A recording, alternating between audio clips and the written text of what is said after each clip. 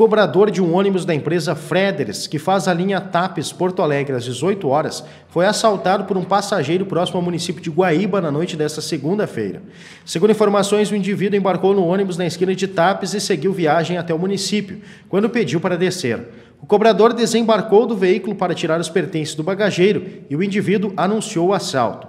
Com uma arma apontada para o cobrador, o homem ordenou que ele entregasse o dinheiro das passagens. Em seguida, o homem fugiu. Não há registro sobre feridos. A Polícia Civil investiga o caso.